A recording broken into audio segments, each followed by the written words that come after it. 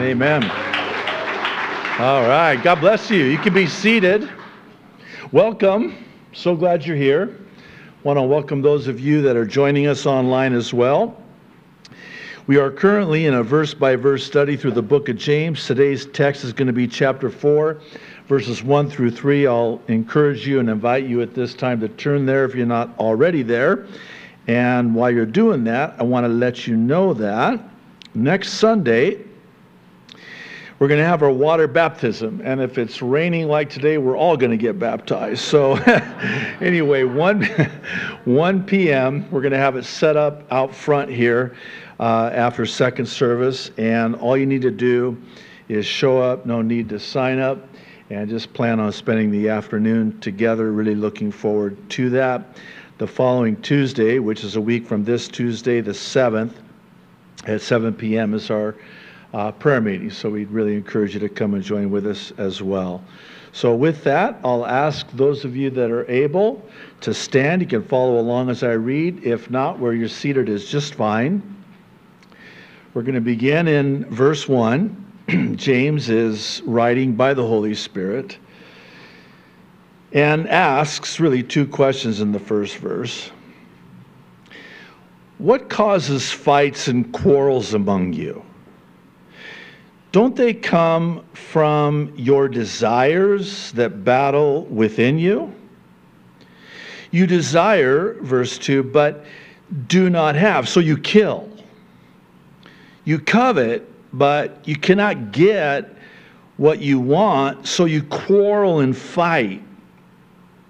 You do not have because you do not ask God. When you ask, verse 3, you do not receive because you ask with wrong motives that you may spend what you get on your pleasures. Let's pray. If you would please join with me. Father, wow, here we go. Um, every word is in your word for a reason. So we know this is here for us to exhort, encourage, rebuke if necessary. But Lord, in order for that to happen, we need for the Holy Spirit to get our attention and hold our attention. That's not up to me.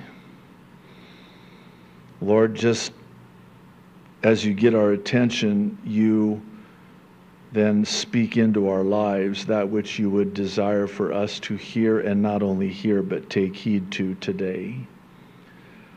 So, Lord, speak. Your servants are listening, we pray. In Jesus' name, amen and amen. You can be seated. Thank you.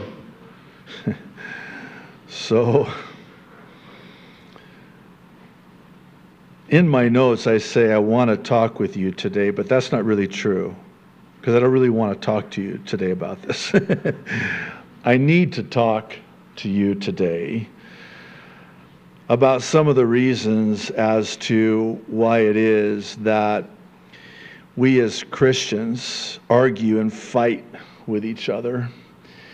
And perhaps more importantly, what it is that we can do about it more specifically, how it is that we can stop doing it.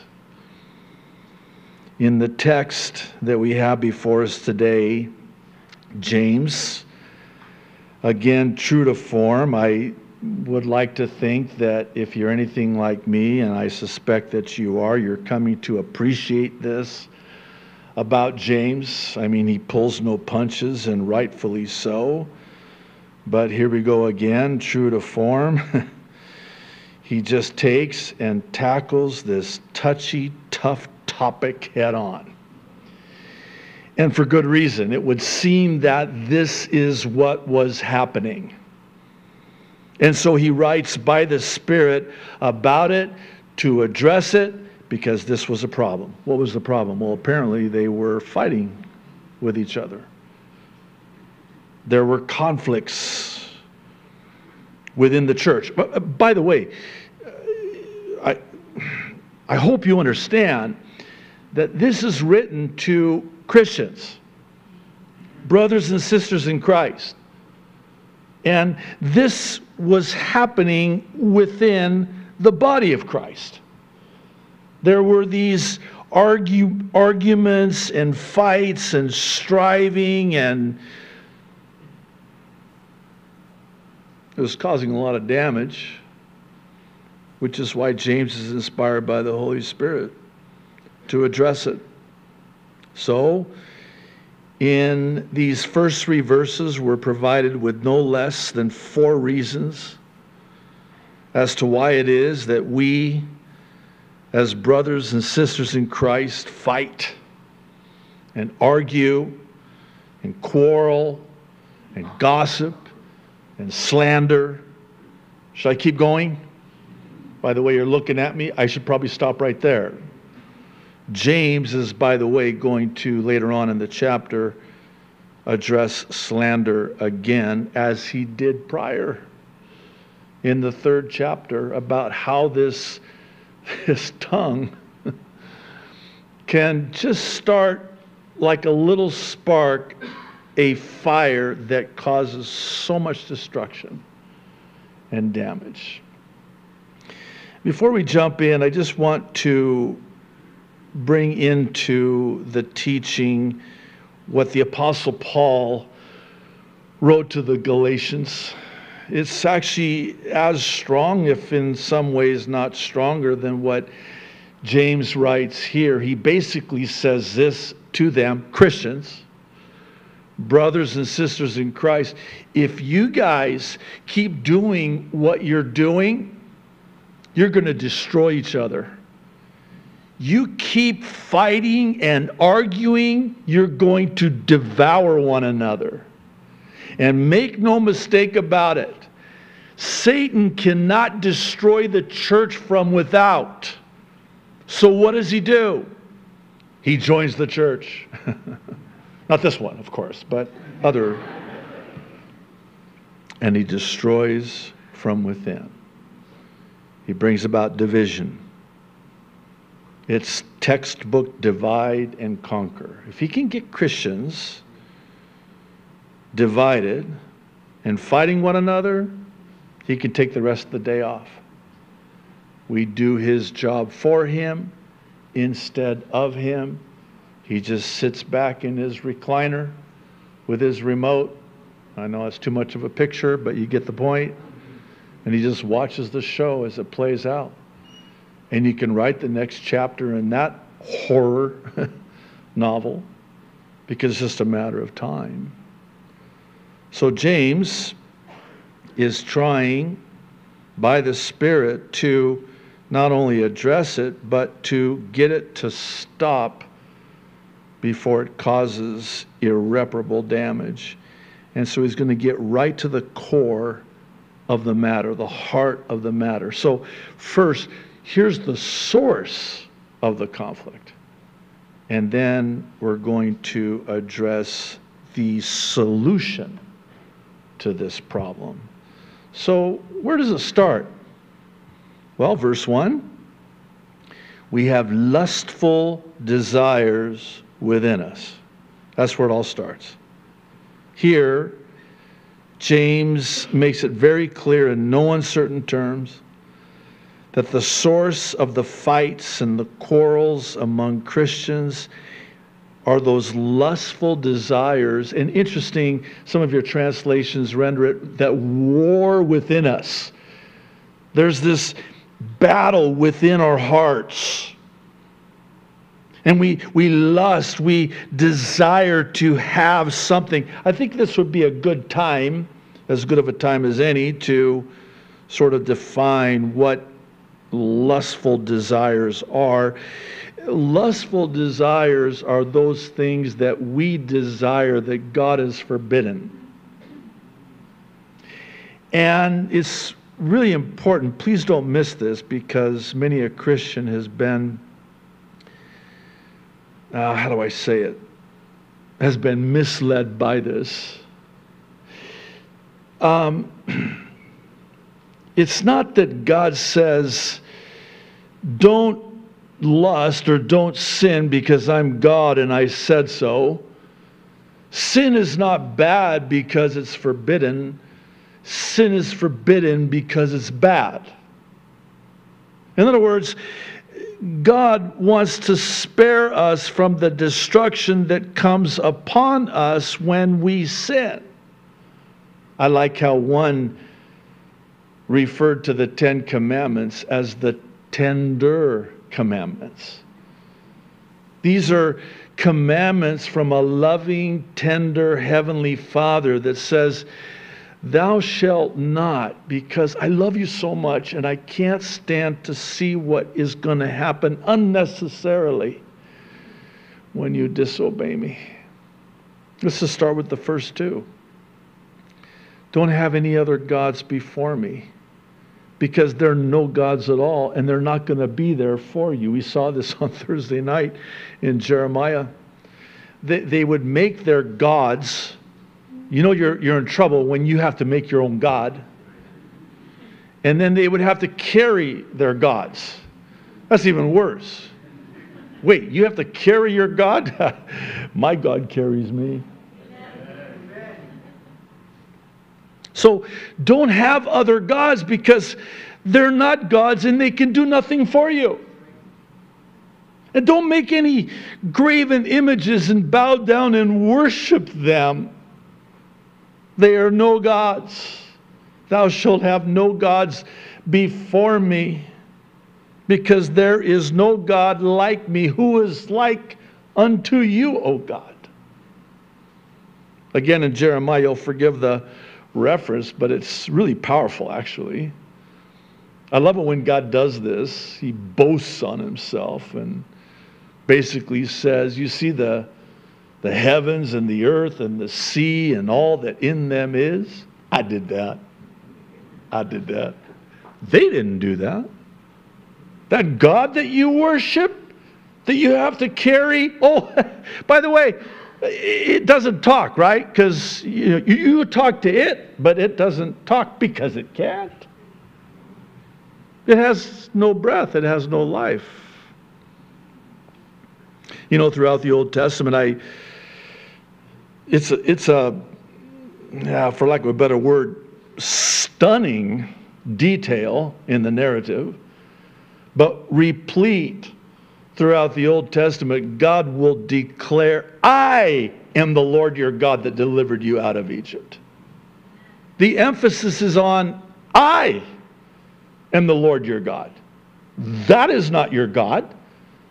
That golden calf that Aaron said he just happened to spill some gold in the fire and out poofed a golden calf that they started worshiping, that did not deliver you out of Egypt. I did that.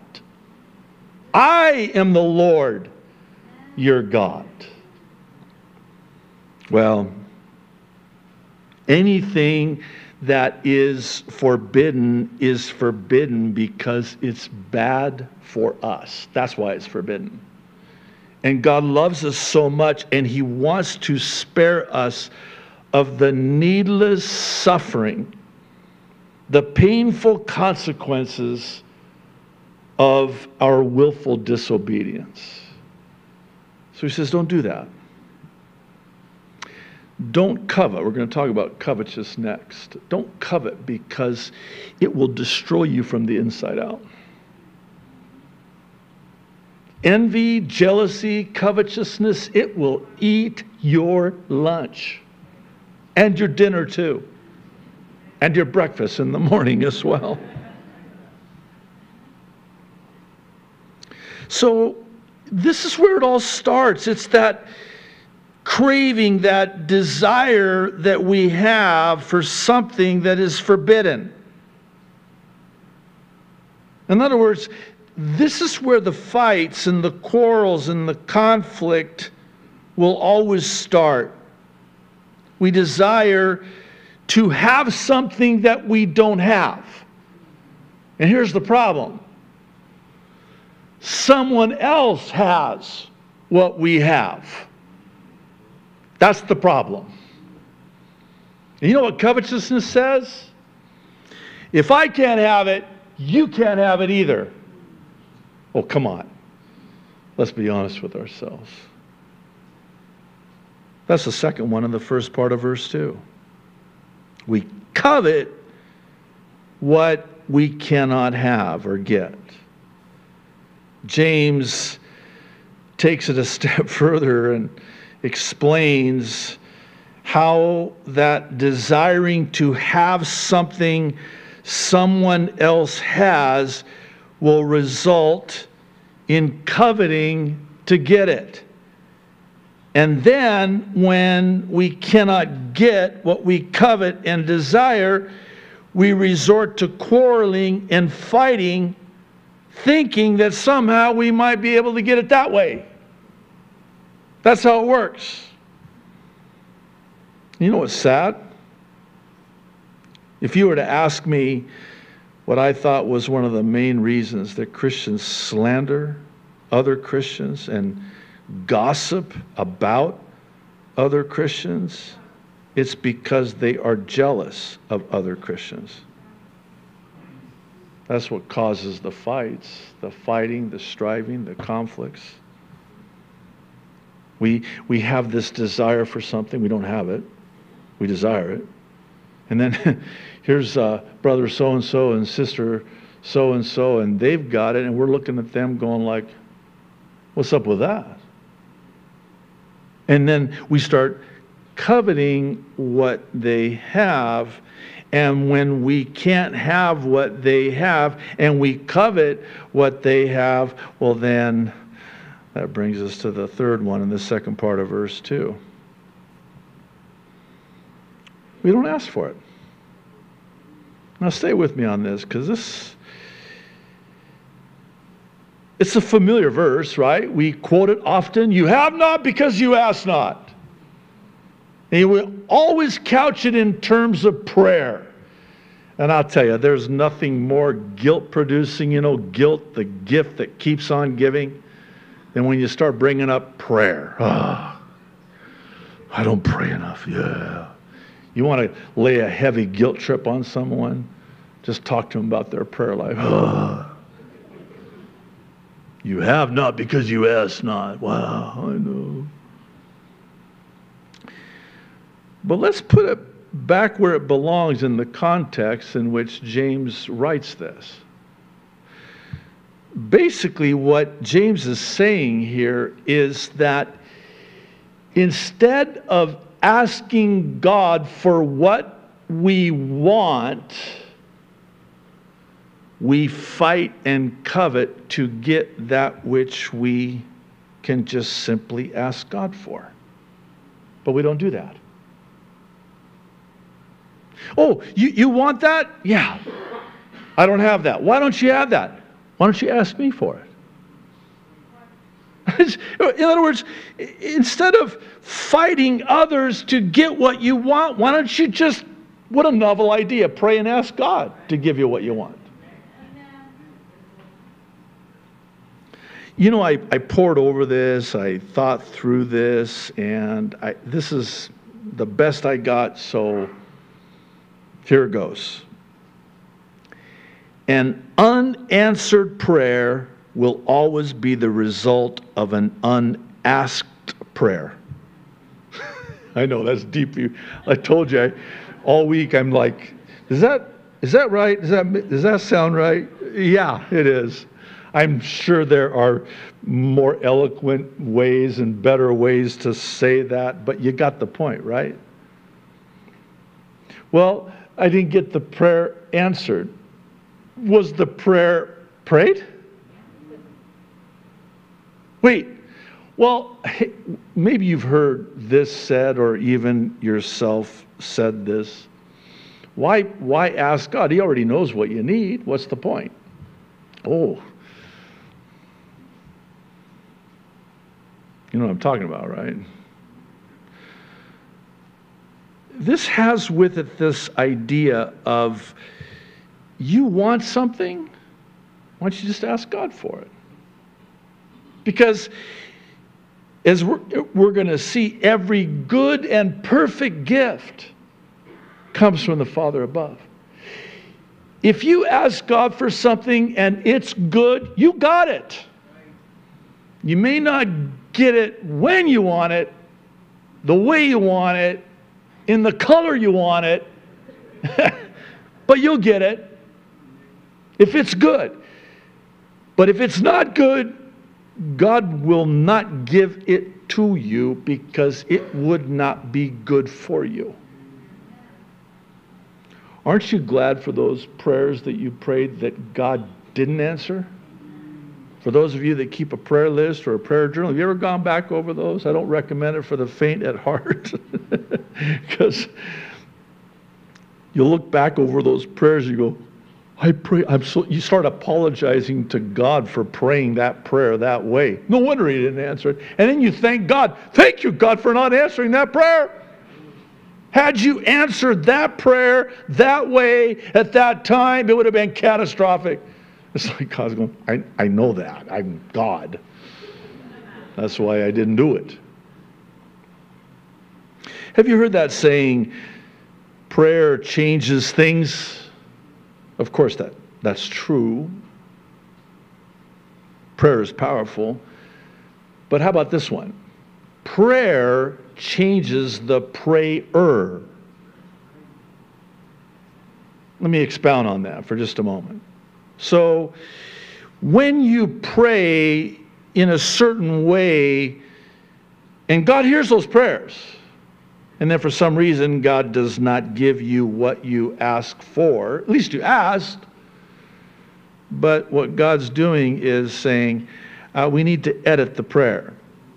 We need to change the prayer. There's a, a situation uh, in my uh, own personal walk with the Lord where there was this real shift where God just really showed me that I needed to pray differently for this specific situation. I wasn't, I was praying, nothing wrong with the, the prayer, but I needed to kind of pray more specifically in this way. And as soon as I did, changed everything. And, and it, here's, here's the thing sometimes, I would even say oftentimes, what we think we want, we really don't want. And, and by the way, we know that God will always provide anything we need. But we try to switch the tags at the store of prayer and we take the desire tag and we put it on the need and we switch them. No, God saw that. now, trust me, JD, you don't want me to answer that prayer that way and give you that. And that's what we're going to see here last in verse 3. When we do ask, we have wrong and selfish motives. So, what James says here sort of comes full circle in the sense that we don't receive when we ask God because we don't have the right heart. We might be asking for the right thing, but with the wrong motive. I like how one said it. Sometimes when we pray and God doesn't answer our prayers, it might be that the timing is wrong and God says slow. Or I'm wrong and God says grow. Or the request is wrong and God says no. But if I'm right, the request is right, and the timing is right, and my heart is right, God says, Here you go. When it comes to praying, and how prayer changes the prayer is it has this way of kind of searching our heart. We're, we're praying, we're asking God to win the lottery, and we promise God we'll tithe on it. I'm just using that as an example. I'm so glad you laughed at that one. That's why you didn't win the lottery. First of all, you shouldn't be playing the lottery. That's the first problem, right?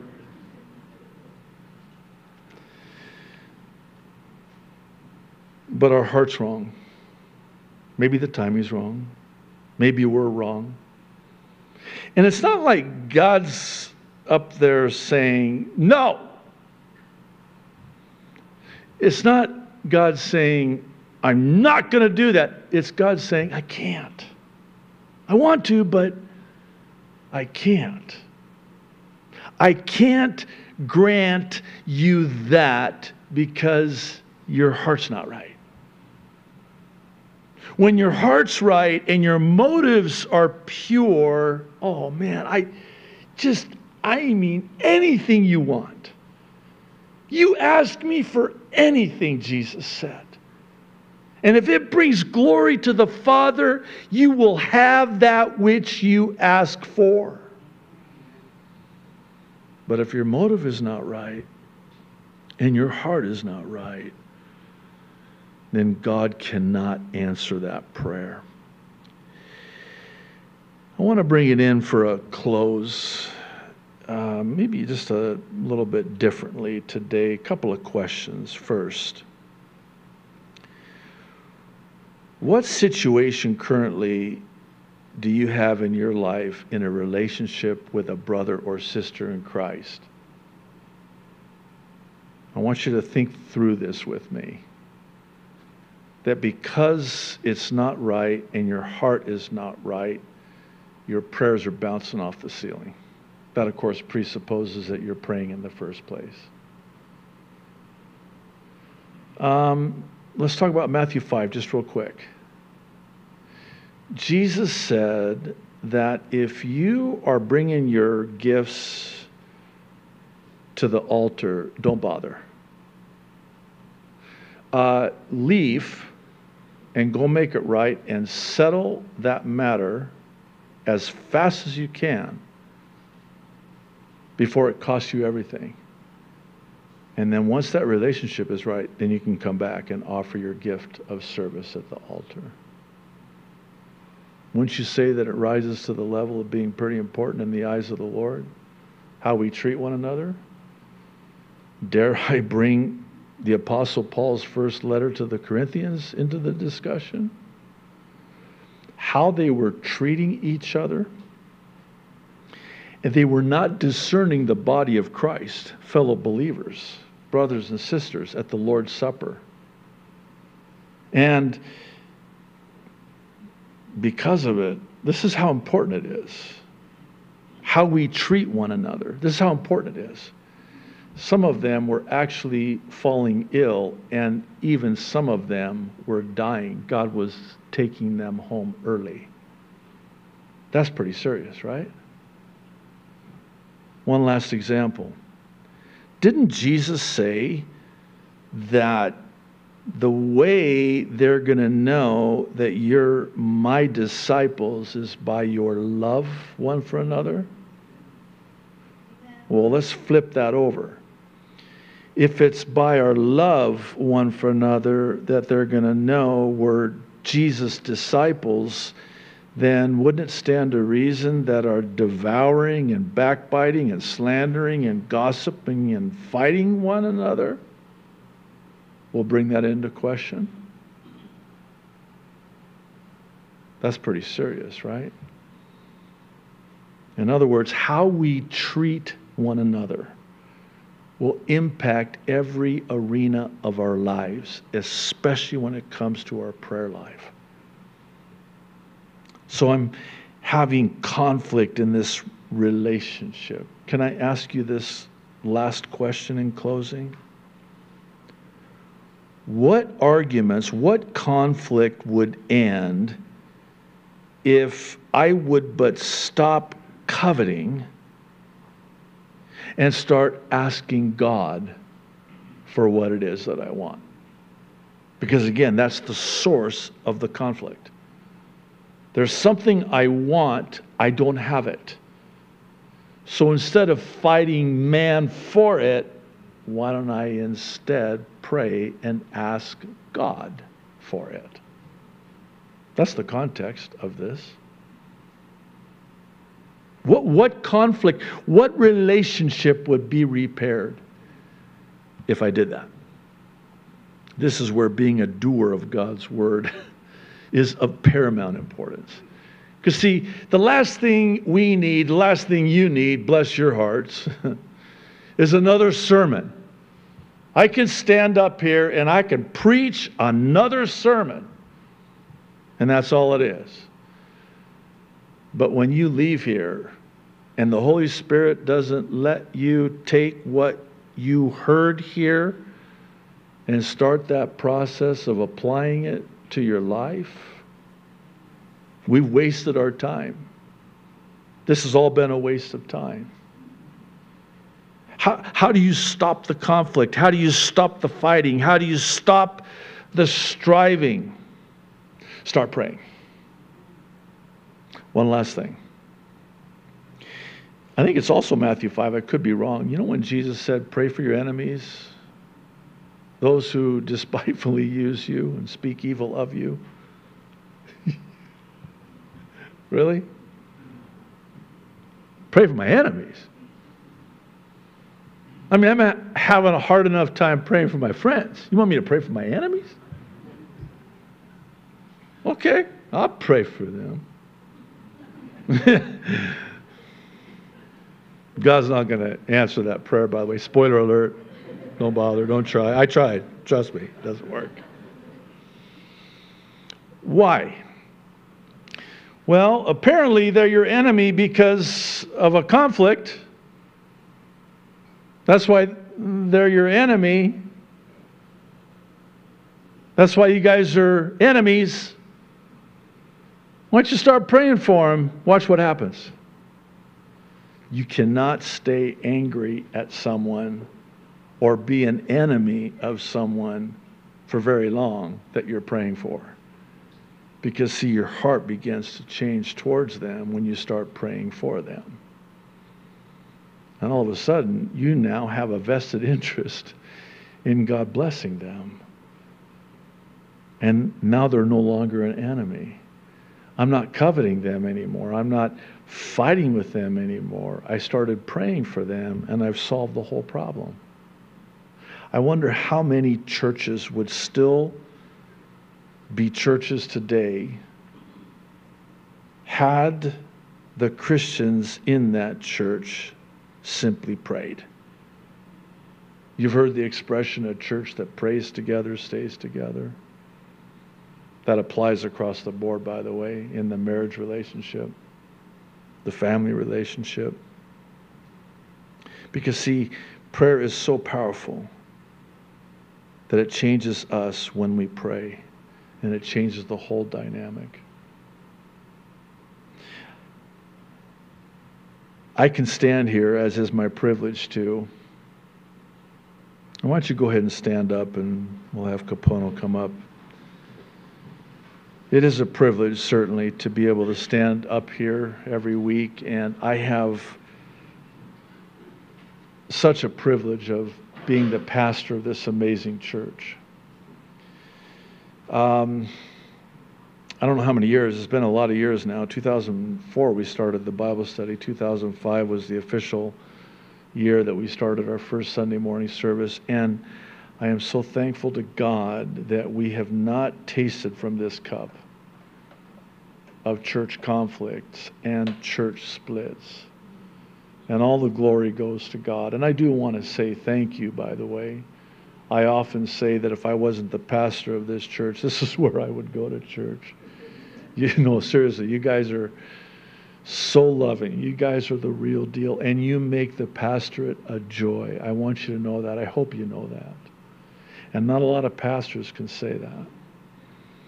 You know that true story churches have split over things as petty as someone getting a bigger slice of cheesecake than someone else. No, I know cheesecake is, uh, you know, I could see that, you know, when it comes to cheesecake, because we all love cheesecake, right? Don't buy me cheesecake. Seriously. Uh, the color of the carpet that was decided on split a church the color of the carpet. Don't look at the color of, the, of our carpet. I hope you like it. Little things like that. How petty, how petty, how petty are we?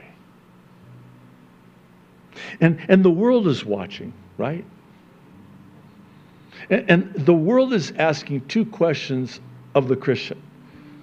Number one, are you real? Is it real? And number two, does it work? And they want it to be real and they want it to work because if it's real and it works, then it gives them hope. Are we the real deal? do, do they look at us and say, man, those guys are, they are fighting each other, talking stink about each other?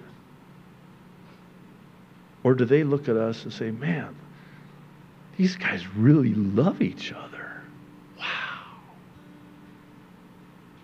Father in heaven, I once again did my best with the text.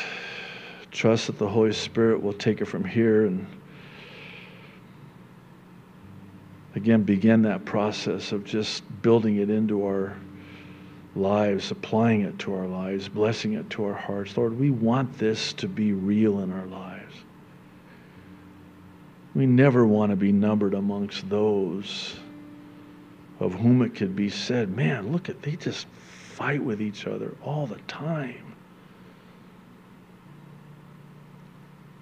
Lord, forgive us